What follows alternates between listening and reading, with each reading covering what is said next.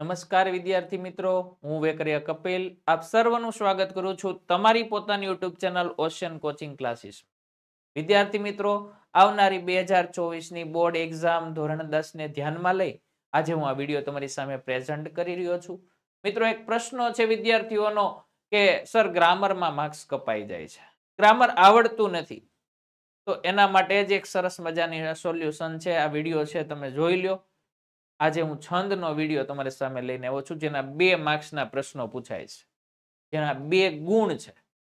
અને સર, છંદ તો આવડતા જ નથી. આવા પણ પ્રશ્નો છે.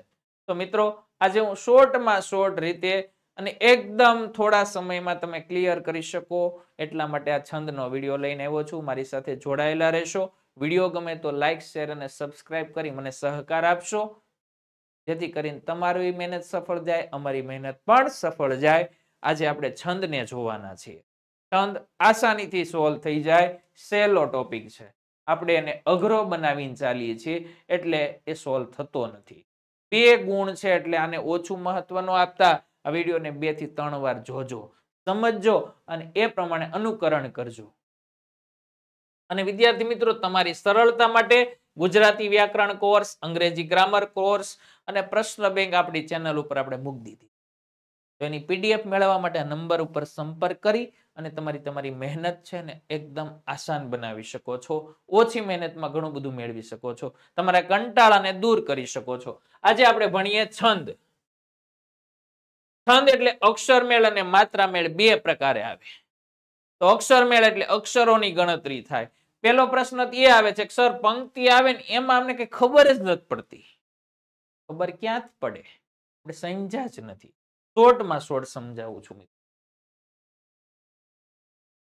એક્ઝામ્પલ તરીકે, તમને લઘુ અક્ષર એટલે એટલી તો ખબર હશે. અક્ષર મેળ છંદમાં નિશાની અક્ષરો ગણવાના આવે, નિશાની યુની આવે. લઘુ ગણીએ છીએ આપણે અને ડેસ્ક આવે ને ગુરુ ગણીએ છીએ, જેને બાદ બાકી પણ કહીએ છીએ. હવે લઘુ અક્ષર કોને ગણવા? તો કે અ, ઈ, ઉ અને રૂ. આ બેન લાગુ પડ્યો અક્ષર મેળ ને માત્રા મેળ માત્રા મેળમાં ખાલી એટલો જ ફેર છે જેમાં માત્રા ગણાશે પણ એમાંય હસ્વ અને દીર્ઘ, હસ્વ ને એક માત્રા અને દીર્ઘ ને બે માત્રા, આમ ગણાશે બે ને લાગુ પડે છે. ધ્યાન રાખજો કેમ ગણવાનું. હસ્વ સ્વર કયા? તો કે અ, ઈ, ઉ અને રૂ. કોઈ વર્ણ અ, ઈ, ઉ અને રૂ છે એ તમામ લઘુ છે. કોઈ પંક્તિમાં, કોઈ કડીમાં ક, કી, કુ, ક્રુ આવા કોઈ પણ વ્યંજનો છે ને નિશાની આ પ્રમાણેની લાગે. મનો ક છે તો એની પાછળ ક પ્લસ અ આવે. કી છે તો હસ્વ જ મુકાય. કુ છે તો હસ્વ જ મુકાય. અને ક્રુ છે તો રુ મુકાય. અને પ્ર છે તો પ પ્લસ ર પ્લસ અ મુકાય. અ પાછળ આવ્યું. જે પાછળ આવે છે એને ધ્યાન લઈને આ બધા લઘુ છે. સમજાય છે? ગુરુ અક્ષર કોને ગણવા? તો કે આ, ઈ, ઉ, એ ઓ, ઔ, અમ. અમ ભારે હોય ત્યારે જ. દીર્ઘ સ્વર વાળા વ્યંજન કોને ગણવા? તો કે કા, તો ક પાછળ આ આવે. કી પાછળ દીર્ઘ ઈ આવે. કુ પાછળ દીર્ઘ ઉ આવે. કે ઉપર એ આવે પાછળ. આ બધા જ આ વ્યંજનો છે તમામ ક, કા, ક, ખ, ગ, ઘ, ચ. તમામને આ નિશાની લાગે. ત્યારે ગુરુ તમામને આ નિશાની લાગે ત્યારે લઘુ છે. આટલું સમજાઈ ગયું. લઘુ ને ગુરુનું જ ખાલી મેં જ્ઞાન આપ્યું. હવે આગળ.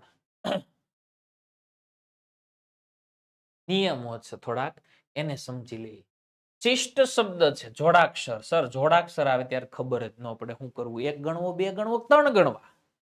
તો આ જોડાક્ષર છે એટલે બે જ શબ્દ છે. બે જ વર્ણ છે સોરી બે અક્ષર છે.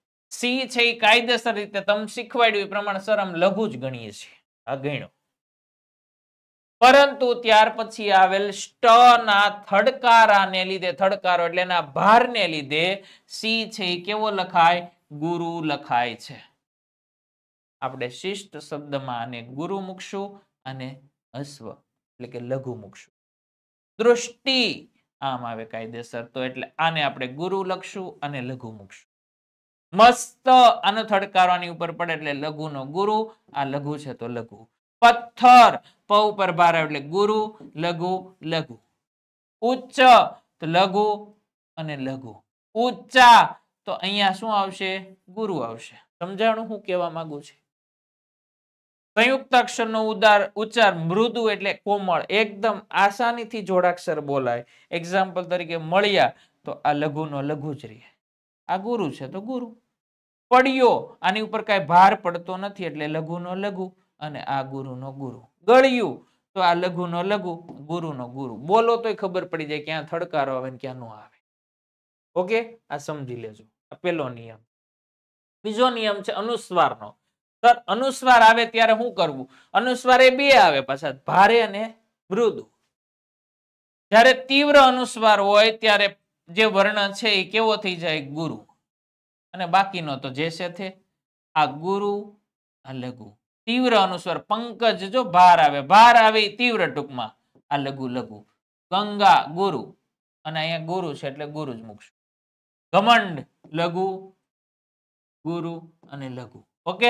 આ રીતે. ભારે હોય ત્યારે ગુરુ. હવે તીવ્ર હોય અનુસ્વાર ત્યારે માનો કહું, તો હ ને કોઈ એટલો બધો ભાર ન પડે. તો આ લઘુ છે તો લઘુ, આય લઘુ જ. આય કોમળ છે, તો લઘુ લઘુ. બોલવું, તો ગુરુ, લઘુ લઘુ. સુવાળું, તો શું ઉપર ભાર આવતો હોય તો દીર્ઘ, નહીતર હસ્વ એટલે સુવાળું, તો શું ઉપર ભાર એટલો બધો આવે, લઘુ, ગુરુ, લઘુ. લઘુ લઘુ લઘુ. મૃદુ હોય ત્યારે લઘુ, તીવ્ર હોય ત્યારે ગુરુ. આ બીજો નિયમ. ત્રીજો નિયમ, વિસર્ગની આગળનો અક્ષરને કેવો ગણવો, સર? વિસર્ગને ક્યાં મૂકવો? તો વિસર્ગની આગળનો અક્ષર છે, એની ઉપર એનો ભાર આવે, એટલે લઘુનો કેવો થઈ જાય? ગુરુ. અંતઃકરણ. તો અ ઉપર ભાર આવે તો ઈ ગુરુ. લઘુ લઘુ લઘુ. બાકીના જે છે તે. પુનઃ પ્રાપ્ય લઘુ છે તો લઘુ, પણ આ ગુરુ થઈ જાય. હું કામ? તો કે વિસર્ગનો ભાર આવે. આ ગુરુ અને લઘુ. પાછો દુઃશાસન. આ ગુરુ ગુરુ, લઘુ લઘુ. આ ગુરુ ગુરુ અને લઘુ. આ રીતે ત્રણેય નિયમને યાદ રાખવાના. વિસર્ગ આવે ત્યારે, અનુસ્વાર આવે ત્યારે જોડિયો અક્ષર આવે ત્યારે. અક્ષર મેળનું સર્વમાન્ય ગણસૂત્ર. આ અક્ષર મેળમાં બધે ચાવી છે. શું કહેવાય? ચાવી બનાવી કઈ રીતે? આગળ જોઈએ. પણ વિદ્યાર્થી મિત્રો પહેલા ગુજરાતી વ્યાકરણ કોર્સનું તમામ સોલ્યુશન આપણે આ ચેનલ ઉપર આપણે મૂકી દીધું છે અને વીડિયો નીચે ડિસ્ક્રિપ્શન બોક્સમાં આપેલ લિંક પરથી તમે આ channel Ocean coaching classes download કરો. માત્ર સો રૂપિયામાં તમને આ પચાસ ડિસ્કાઉન્ટ સાથે આ સંપૂર્ણ ગ્રામર મળે છે આજે. ફટાફટ મેળવી લો, જેથી તમારું આ પેપર ગુજરાતીનું ખૂબ સારું જાય બોર્ડનું. અને આ તમામ મુદ્દાઓની ડીપમાં સમજૂતી તમને આપેલી છે. તો ફટાફટ આ એપ્લિકેશન પરથી આ કોર્સ લઈ લો આ આપણી આ ચાવી છે. તાળાની ચાવી. કઈ રીતે તાળાની ચાવી બની તો કે ય માતા. આ ત્રણેય ગણ અહીંયા મૂકો, ય. લઘુ, ગુરુ ગુરુ. પછી છે મા તારા એવું અહીંયા મા તારા પછી આ રીતે તારાજ આવ્યું રાજભા.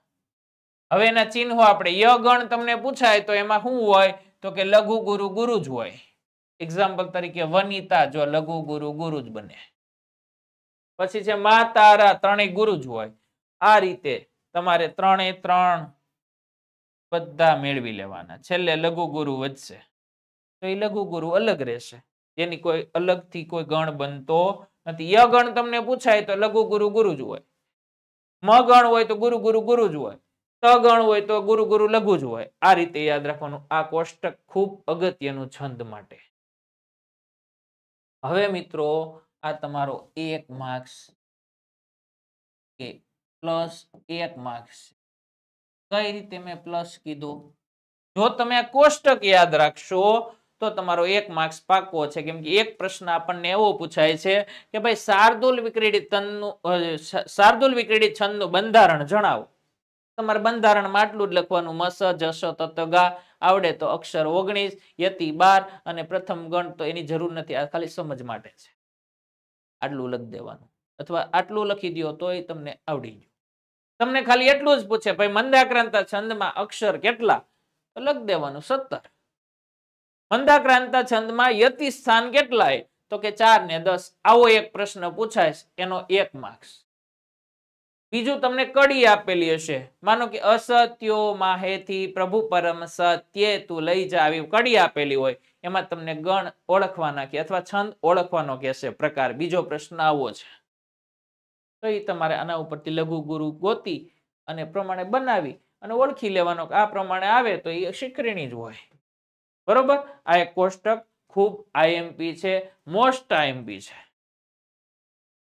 હવે તમને માત્રામેળ છંદ પૂછે કે ભાઈ માત્રામેળ છંદ, દોહરો છંદનું બંધારણ આપો તો તમારે દોહરમ લખી દેવાનું, ચોવીસ. માત્રા ચાર ચરણ હોય પેલા ત્રીજામાં તેર માત્રા હોય, બીજા ચોથામાં અગિયાર માત્રા હોય. યતિ તેર માત્રા પછી મળે. આ એક ગુણ થઈ ગયો. પણ તમને ઓળખવાનું કે ભાઈ માત્રાઓ ઓળખો. તો તમને કોઈ કડી આપેલી હશે એના ઉપરથી તમને આ બંધારણ યાદ હશે તો એ ઓળખાશે. આ રીતે ચારે પ્રકાર એ અને આગળનું જે કોષ્ટક, આ બે કોષ્ટક પાકા કરો એટલે લગભગ મારા ખ્યાલથી છંદ આવડી જશે. છંદ કેવા છે? હેલા છે. એકદમ સહેલા છે. તળપદો શબ્દ બોલ્યો, હેલા છે. સહેલા છે, એકદમ આવડી જાય એવા છે. તો આ છંદ આજે તમને આવડી જ જશે. વિડીયોને એવું લાગે તો એક બે વાર રિફર કરજો, સમજજો. અને ઓળખી લેજો. અને ત્યાર પછી કોઈ કડી લઈને બેસશો એટલે લગભગ છંદ આવડી જશે. મિત્રો, આજે મેં મારાથી બનતી ટ્રાય તમને એકદમ શોર્ટમાં શોર્ટ વીડિયો દ્વારા પીરસવાનો પ્રયત્ન કર્યો. છંદ એકદમ ઇઝીલી સમજાઈ જાય એવો પ્રયત્ન કર્યો. પણ હવે મહેનત તમારે કરવાની છે. મારી મહેનત ઘણી બધી થઈ. આપણી બેયની મહેનત ભેગી થશે એટલે સફળતા સો મળશે અને એનો આનંદ અનેરો હશે. વિદ્યાર્થી મિત્રો, ફરી મળીશું કંઈક નવા જ્ઞાન સાથે, નવા નોલેજ સાથે. તમારી મહેનત ઓછી થતી હોય એવા પ્રયત્ન સાથે. ત્યાં સુધી મને રજા આપશો. જય હિન્દ, જય ભારત. તમામ મિત્રોની પરીક્ષા સારી જાય એવી શુભકામના. જય હિન્દ, જય ભારત. આભાર.